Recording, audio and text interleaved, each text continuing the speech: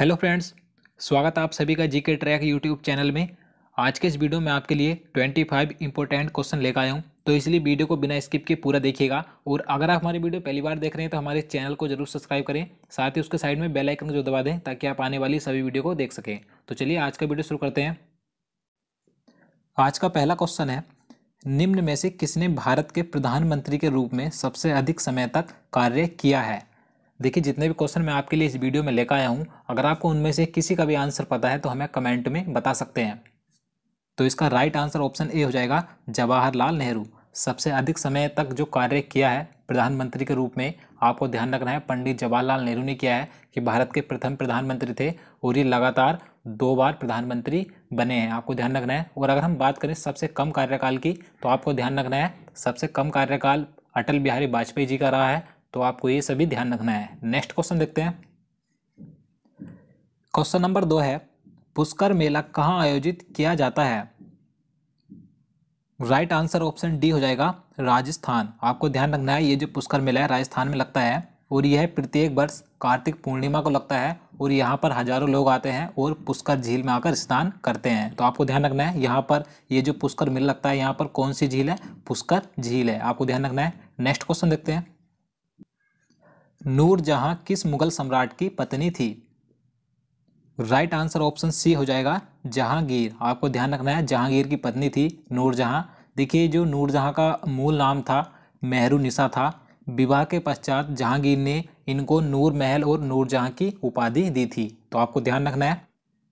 Question number चार है, पिलासी का युद्ध किस वर्ष लड़ा गया था? राइट आंसर ऑप्शन सी हो जाएगा सत्रह सौ सत्तावन ईस्वी को। आपको ध्यान रखना है, ये क्वेश्चन कई बार एग्ज़ाम में पूछा जाता है तो मैं आपको इसके बारे में और पॉइंट बता देता हूँ। देखिए, ये युद्ध बंगाल के नवाब सिराजुद्दौला और अंग्रेज़ों के बीच लड़ा गया था। इस युद्ध में अंग्रेज़ी सेना का नेतृत्व रॉबर्ट क्लाइव ने किया था। आपको ध्यान रखना है। और देखिए, बंगाल का नवाब सिराजुद्दौला इस युद्ध में हार गया था, क्योंकि इसकी जो हार का कारण था, इसका सेनापति था। इसका जो सेनापति था मीर जाफ़र, उसने सिराजुद्दौला को धोखा दिया था। क्योंकि वह अंग्रेज़ों से मिल गया था। अंग्रेज़ों ने इसे लालच दिया था कि हम तुझे बंगाल का नवाब बना देंगे। इसी कारण से मीर जाफ़र ने सिराजुद्दौला को धोखा दिया और सिराजुद्दौला इस युद्ध में हार गया। तो अगला जो नवाब बनाया गया था बंगाल का, मीर जाफ़र को बनाया गया था। तो आप समझ गए होंगे। तो चलिए नेक्स्ट क्वेश्चन देखते हैं। क्वेश्चन नंबर पाँच है, राष्ट्रीय मानवाधिकार आयोग का मुख्यालय कहाँ स्थित है? राइट आंसर ऑप्शन डी हो जाएगा। दिल्ली। आपको ध्यान रखना है, इसका मुख्यालय दिल्ली में स्थित है। और अगर हम बात करें वर्तमान में इसके अध्यक्ष की तो आपको ध्यान रखना है, इसके अध्यक्ष इस समय पर एच एल दत्तू हैं। आप इसे चेक कर लीजिए, शायद आप किसी और समय पर इस वीडियो को देख रहे हो तो उस समय इसके अध्यक्ष चेंज हो जाएँ तो आप इसे चेक कर लीजिएगा। तो चलिए नेक्स्ट क्वेश्चन देखते हैं। गाय किस देश की राष्ट्रीय पशु है? राइट आंसर ऑप्शन ए हो जाएगा, नेपाल। आपको ध्यान रखना है, जो काऊ है, यानी कि गाय ये नेपाल देश की राष्ट्रीय पशु है। नेक्स्ट क्वेश्चन देखते हैं। मायोपिया आँखों का दोष है, इसे क्या कहा जाता है?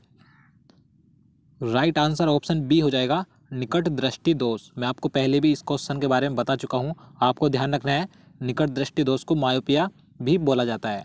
नेक्स्ट क्वेश्चन देखते हैं। क्वेश्चन नंबर आठ है, भारत और पाकिस्तान के बीच कौन सी रेखा है? राइट आंसर ऑप्शन बी हो जाएगा रेड क्लिप रेखा। आपको ध्यान रखना है।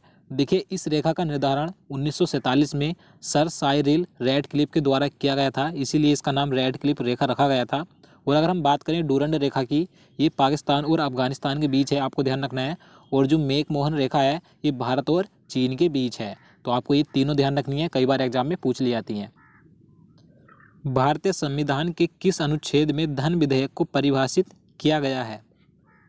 राइट आंसर ऑप्शन बी हो जाएगा अनुच्छेद 110 आपको ध्यान रखना है धन विधेयक को अनुच्छेद 110 में रखा गया है और अगर हम बात करें वित्त विधेयक की तो वित्त विधेयक को अनुच्छेद 117 में रखा गया है। तो आपको दोनों ध्यान रखने हैं। नेक्स्ट क्वेश्चन देखते हैं। क्वेश्चन नंबर दस है, विटामिन बी थ्री की कमी से कौन सा रोग होता है? राइट आंसर ऑप्शन बी हो जाएगा, पिलाग्रा रोग। आपको ध्यान रखना है और इसका रासायनिक नाम निकोटीनिक अम्ल होता है, आपको ये भी ध्यान रखना है। और देखिए, जितने भी विटामिन हैं, उनके रासायनिक नाम और उनकी कमी से होने वाले रोग। अगर आपको देखने हैं तो मैं इस वीडियो के डिस्क्रिप्शन में नीचे लिंक दे दूँगा, आप वहाँ से उस वीडियो को देख सकते हैं। ये विटामिन का जो टॉपिक है, काफ़ी महत्वपूर्ण है, क्योंकि एग्ज़ाम में क्वेश्चन यहाँ से देखने को मिलते हैं। तो आप उस वीडियो को ज़रूर देखिएगा। चलिए, नेक्स्ट क्वेश्चन देखते हैं। विश्व की सबसे लंबी पर्वत श्रेणी कौन सी है? राइट आंसर ऑप्शन सी हो जाएगा। एंडीज पर्वत श्रेणी ये विश्व की सबसे लंबी पर्वत श्रृंखला है, आपको ध्यान रखना है। और देखिए, इसकी जो लंबाई है लगभग सात हज़ार किलोमीटर, इस श्रेणी की, पर्वत श्रेणी की लंबाई है। और देखिए, इस पर्वत श्रृंखला में एक मरुस्थल भी स्थित है, जिसका नाम अटकामा मरुस्थल है। ये चिली देश में पड़ता है। और देखिए, आपको यहाँ से एक पॉइंट और ध्यान रखना है। इस पर्वत श्रेणी से एक नदी निकलती है, जिसका नाम अमेजन नदी है। तो आपको ये सभी पॉइंट ध्यान रखने हैं। नेक्स्ट क्वेश्चन देखते हैं। क्वेश्चन नंबर बारह है। संतोष ट्रॉफी किस खेल से संबंधित है?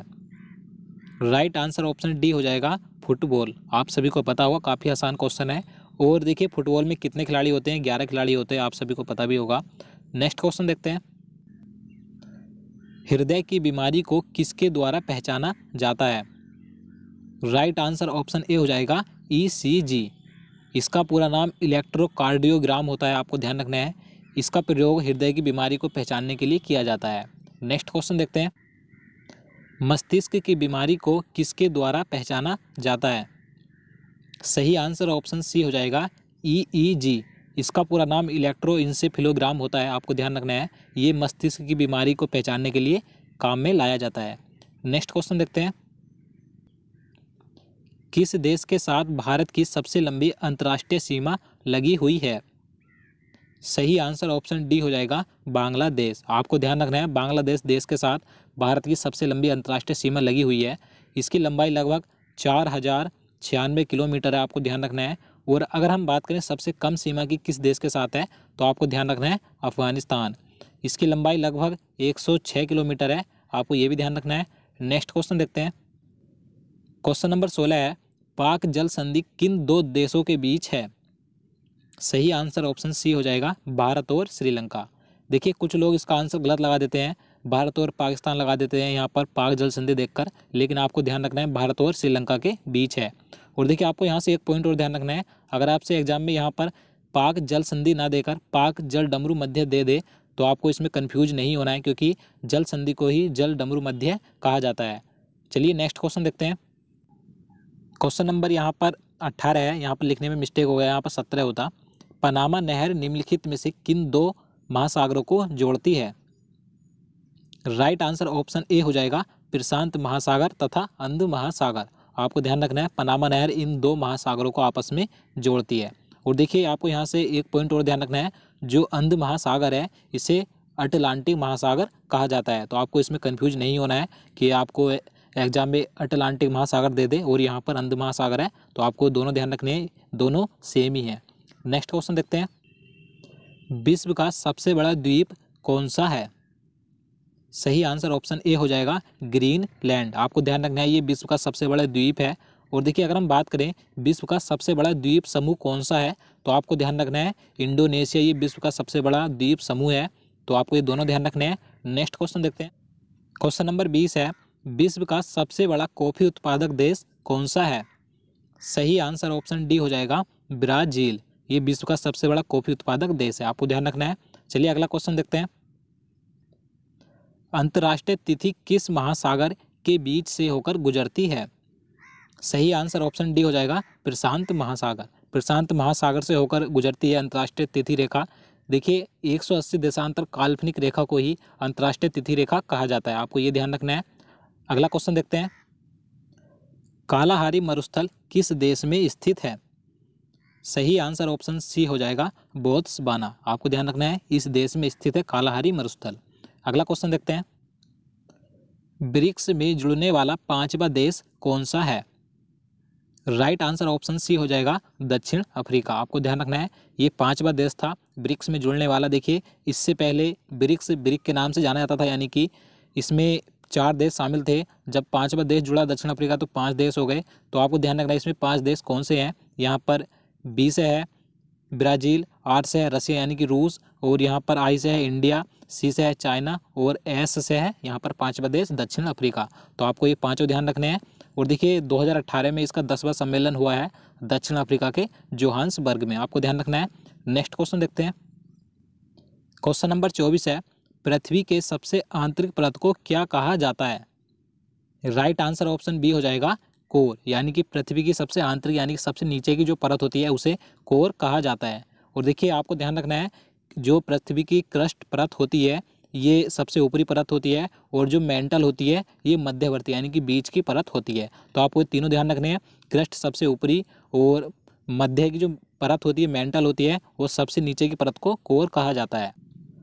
तो दोस्तों, आज के लिए इतना ही। उम्मीद करता हूँ आपको वीडियो पसंद आया होगा। अगर आपको वीडियो अच्छा लगा हो तो वीडियो को लाइक ज़रूर करना और वीडियो को ज़्यादा से ज़्यादा शेयर करना ताकि हम आपके लिए आगे भी वीडियो ला सकें। तो चलिए मिलते हैं नेक्स्ट वीडियो में। तब तक के लिए नमस्कार।